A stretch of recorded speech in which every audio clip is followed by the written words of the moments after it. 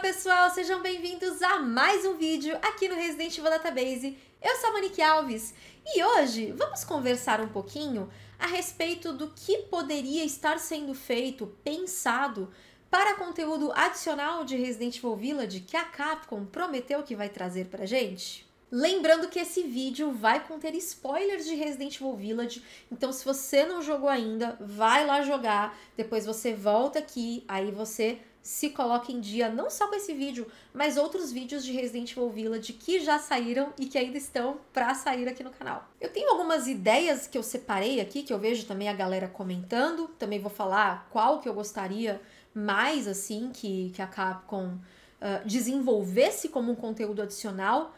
Mas lembrando que, por mim, eles poderiam fazer todas essas ideias como conteúdo adicional, afinal de contas, conteúdo adicional sempre é bom, principalmente se ele se encaixa no canon da franquia e se ele for bom também, né? Porque não adianta também ser um conteúdo adicional porcaria, não é verdade, End of Zoe? Então é sobre isso que a gente vai falar hoje, mas antes eu vou pedir para que você já se inscreva aqui no canal, deixe o seu like que é para atingir mais pessoas, é para isso que o like existe. Quanto mais like, mais pessoas vão ser recomendadas, mais pessoas assistindo, mais inscrito, mais inscrito, mais vídeo, mais vídeo, mais vídeo ainda, mais conteúdo ainda, e aí vai virando uma bola de neve maravilhosa. E é assim que a gente trabalha, entendeu, gente? Então, deixa o seu like e, por favor, compartilhe o nosso canal com seus amigos para a gente continuar crescendo nesse YouTube de Mãe Miranda. YouTube de Wesker já ficou velho esse meme. A moda agora é louvar a Mãe Miranda. Eu acho que a primeira coisa que eu teria que trazer aqui para vocês, de qualquer forma, é que eles poderiam abordar um lado do Resident Evil Village da parte da galera que vivia no vilarejo. De repente, um pouco antes do Ethan chegar, quando eles começaram a ter que lidar com os licanos, um monte de gente morreu, poucos sobreviveram. Como que essas pessoas sobreviveram?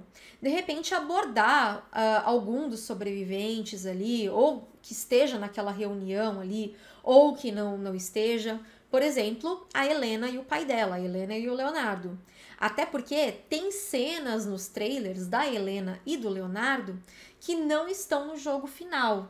E aí a gente não sabe o que aconteceu, se eram cenas fake ou se destoava do conteúdo e aí eles resolveram não colocar. E a gente não sabe se a Helena e o pai dela sobreviveram uh, àquela queda ali logo no, no início do jogo, lá na casa da Luísa e tudo mais.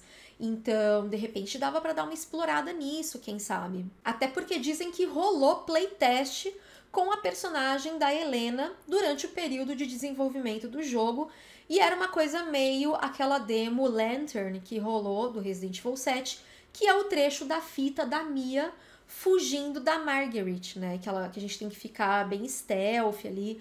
É um trecho opcional do jogo, né? Da campanha principal do Resident Evil 7, mas que na época foi lançado como uma demo para os jornalistas, para os criadores de conteúdo. Então, de repente, se eles estavam fazendo um playtest, talvez não se encaixasse no jogo principal, falasse, ah, vai destoar.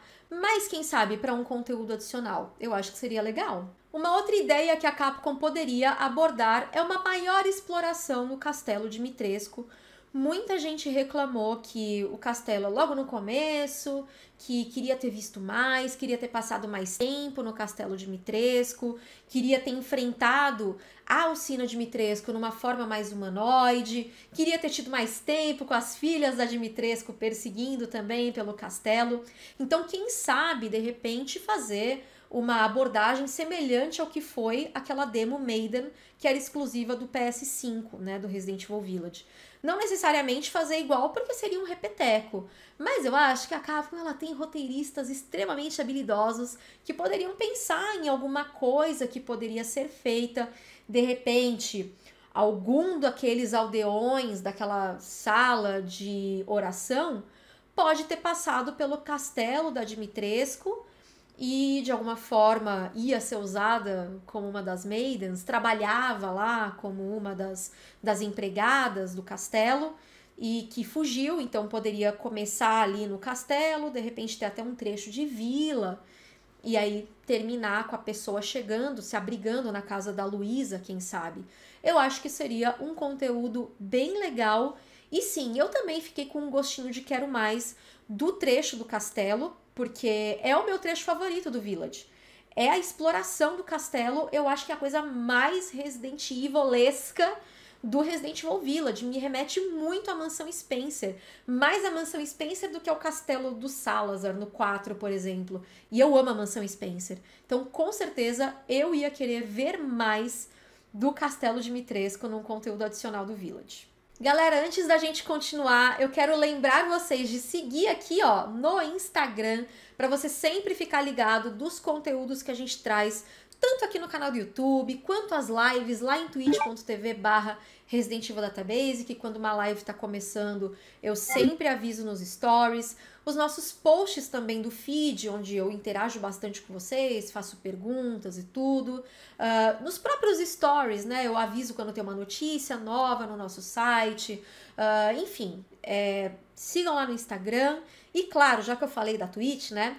Você pode acompanhar as nossas lives de segunda, terça, quinta e sexta em twitch.tv barra Resident Evil Database, sempre às 19 horas e às vezes eu mudo o horário porque eu faço umas lives gravando vídeo, aí a gente fica de tarde conversando enquanto eu tô trabalhando nas coisas do site, do canal, então acompanha lá e fica ligado no Instagram para saber quando eu vou fazer, se eu vou fazer às 19 ou se eu vou fazer no período da tarde, e aí a gente fica fazendo companhia um pro outro. Eu acho que esse é o conteúdo que eu mais gostaria de ver como conteúdo adicional do Resident Evil Village, que seria meio que um lado B do Chris e do Esquadrão Lobo de Caça dentro do vilarejo, explorando os lugares, uh, analisando as amostras ali do Mutamiceto. O Chris mesmo, assim, de repente, meio possesso, com o envolvimento da BSAA, né? Tipo, é, tudo que, que tá acontecendo atualmente na BSAA. Então, ele fazendo esses comentários, eu acho que seria uma forma de começar a aquecer a gente para essa parte conspiracionista de a BSAA tá trabalhando com armas biológicas e tudo mais, meio que um aquecimento mesmo, sabe? Para ir preparando o terreno para um próximo jogo, uma próxima animação, onde eu espero que eles não esqueçam esse plot. E aí, como a gente não viu nada da New Umbrella ou a Umbrella Azul no Resident Evil Village, a gente viu ela lá no final do set, eu acho que de repente seria uma forma de trazer esse assunto à tona e dele falar abertamente que ele não confia mais na BSAA desde que ela começou a andar com a New Umbrella. Né? Desde que ela começou a andar com a Umbrella, que na verdade é New Umbrella, gente, é só Umbrella repaginada, tá? É a mesma e velha Umbrella de sempre. Inclusive, eu fiz um vídeo aqui no canal abordando essa parte dessa corrupção aí na BSAA por causa de uma influência, possivelmente, da New Umbrella. Então, eu vou deixar o link também desse vídeo aqui nos cards. Eu recomendo muito assistir esse vídeo, porque eu acho que ele ficou muito legal e, cara, eu adoraria que essa parte conspiracionista voltasse de que nem a gente teve, né? Os Stars, a polícia de Raccoon City tinha um envolvimento ali com a Umbrella e aí ninguém acreditava nos Stars e tudo. Remete muito aos clássicos. E é uma coisa que eu sinto falta em Resident Evil. Então, se abordasse isso, começasse nem que fosse dar umas pinceladas numa DLC com o Chris, em que a gente faz a versão dele dos fatos do Village, eu ia amar de verdade. Sem falar que a gente ia ver mais também da relação dele com o Esquadrão Lobo de Caça, e aí a gente poderia conhecer melhor esses personagens também. E essa relação dele com esses soldados, né? Porque o Chris ele sempre teve esse lado de tratar os soldados como uma família. Então a gente ia poder também criar laços com esses personagens. E agora, um conceito que de repente eles poderiam trazer e que a galera tem falado bastante nas redes sociais é de incluir a Ada no Resident Evil Village. A Ada estaria no Resident Evil Village. Ela seria uma das personagens do jogo. Ela ia estar tá usando uma roupa é, toda preta e ela ia estar tá com uma máscara, aquelas máscaras de Plague Doctor, aqueles médicos que uh, trabalhavam durante períodos de pragas e tudo, por exemplo, gripe espanhola, né? Em que eles usam uma máscara com um bico, assim, até remete muito a um bico de corvo, por exemplo, né? Afinal de contas, o corvo simboliza a morte. E aí ela salvaria o Ethan no começo do jogo, mas de acordo com os concept arts, e isso tá nos concept arts mesmo do jogo, do Resident Evil Village, inclusive eu ainda quero trazer esse conteúdo aqui para vocês no canal, se eu já não tiver trazido, né, gente, a essa altura do campeonato, não sei quando esse vídeo sai ainda. Enfim, fiquem ligados aqui no YouTube, ativa o sininho, ativa o sininho, obrigado, tá? Enfim, pessoal tem falado muito que de repente, ah, eles descartaram a ideia da Eida, mas podiam trazer né? Afinal de contas, a Capcom adora atender aos pedidos das pessoas, não é verdade? Ela tem um coração tão bom. Então, quem sabe trazer a Eida e resgatar este plot de que ela iria salvar o Ethan daquele primeiro ataque de licanos. Porque toca um sino, né? Eles atendem, os licanos eles atendem ao toque do sino e vão embora mas na verdade quem aparece ali é aquela senhorinha que é um dos disfarces da mãe Miranda. E aí muita gente fala: ah, será que foi a Eida que tocou o sino? Porque ela já tem o histórico de quem toca sino, não é verdade? No Resident Evil 4, ela salva o Leon tocando o sino da igreja. E aí uh, o Pueblo fica mais de boas para ela explorar e o Leon, consequentemente, também. Eu só me pergunto se daria certo colocar a Ada em um jogo em que tá o Chris. Porque lembra no Resident Evil 6 que rolou aquela treta do clone da Ada, a Carla Radames, tocando o terror, matando o esquadrão do Chris, aí o Chris querendo vingança. E a gente não sabe se o Chris na verdade descobriu que na verdade não era a verdadeira Ada e sim um clone dela. Isso nunca foi explicado na franquia. Então, será que não seria meio jogado eles colocarem a Ada no mesmo contexto em que o Chris está, mas eles nunca resolveram essa situação? Ou resolve logo de uma vez, dona Capcom? Resolve as coisas. Bom, a minha preferência seria. Se fosse para eu escolher, falar assim: você só pode escolher um. Um desses conceitos. Um, eu fiz dois, né? Um desses conceitos, eu escolheria o lado B do Chris. Eu acho que teria muito mais a ver com Resident Evil Village e aí traria aquela coisa conspiracionista e tudo. Então, essa seria a minha preferência.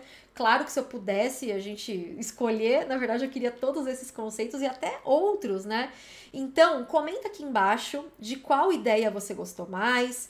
E se você tem outras ideias também, outros conceitos uh, eh, para expansões, conteúdos adicionais do Resident Evil Village, que você gostaria de ver no jogo e que de repente ou não foi abordado, ou que de repente foi pouco abordado. Então, me conta aqui nos comentários que eu quero saber. E não se esqueçam de apoiar a continuidade do nosso trabalho, seja no padrim.com.br barra Resident Evil Database, a partir de um real por mês no cartão de crédito, sendo membro aqui no canal do YouTube também, clicando no botãozinho Seja Membro aqui embaixo do player.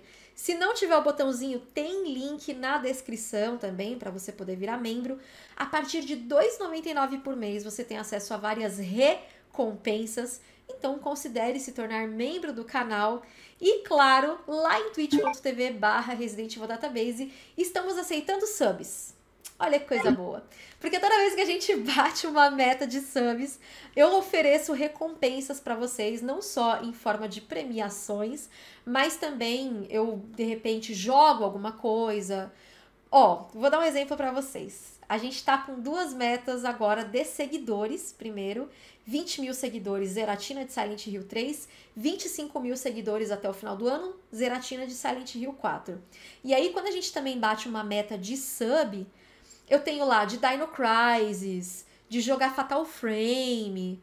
Então, considere dar o seu sub lá em twitch.tv barra Resident Evil Database também e lembrando que todos esses apoios nos ajudam a continuar desempenhando e entregando este conteúdo que a gente entrega aqui no canal, nas lives, no nosso site e também nas nossas redes sociais. Eu vou ficando por aqui. Um beijo para todo mundo, até o próximo vídeo e tchau!